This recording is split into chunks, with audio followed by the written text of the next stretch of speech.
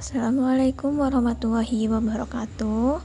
Kembali lagi dengan pelajaran matematika kelas 8 dengan materi SPLDV Dengan saya Karina Purbasari sebagai guru matematika Berasal dari SMP Dwi Tunggal Tulangan. Sebelum mulai pembelajaran Yang pertama, apa yang dimaksud dengan SPLDV? SPLDV atau sistem persamaan linear dua variabel adalah sebuah sistem atau kesatuan dari beberapa persamaan linear dua variabel yang sejenis.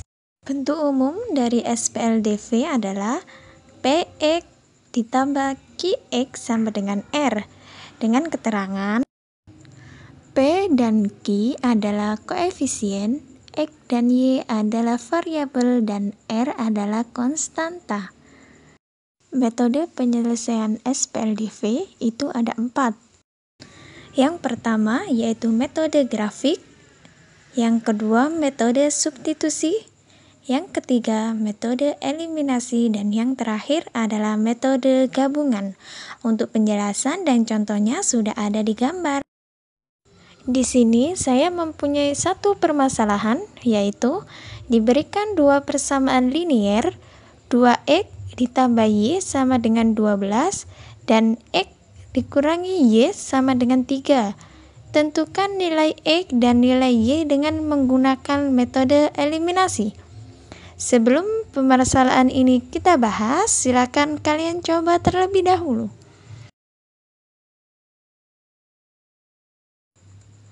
Oke, sekarang kita bahas bersama. Untuk menentukan nilai X, maka Y kita eliminasi terlebih dahulu. 2X ditambah Y sama dengan 12, X min Y sama dengan 3. Karena kita akan mencari nilai X terlebih dahulu, maka kita akan tambahkan semuanya. Dengan jawaban 3X sama dengan 15, di mana X adalah 15 dibagi 3 sama dengan 5. Di sini kita sudah mendapatkan nilai X. Kemudian, tugas kita yaitu mencari nilai Y. Untuk menentukan nilai Y, maka X yang kita eliminasi.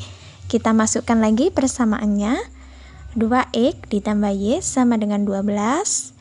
X min Y sama dengan 3 karena kita akan mengeliminasi nilai Y nilai X mohon maaf. Maka persamaan pertama dan persamaan kedua kita kalikan satu yang persamaan pertama. Persamaan kedua kita kalikan dua. Dengan jawab 2x ditambah y sama dengan 12 dan persamaan kedua menjadi 2x min 2y sama dengan 6 karena kita mencari nilai y maka akan kita kurangkan semuanya.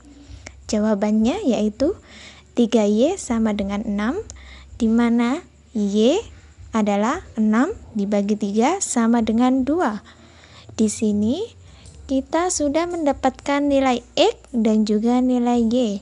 Maka bisa disimpulkan Himpunan penyelesaiannya yaitu 5,2.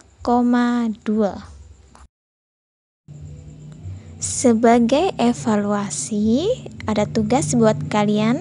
Silakan dibaca dan dikerjakan. Sekian pembelajaran hari ini. Semoga kalian paham dan bisa menambah ilmu kalian.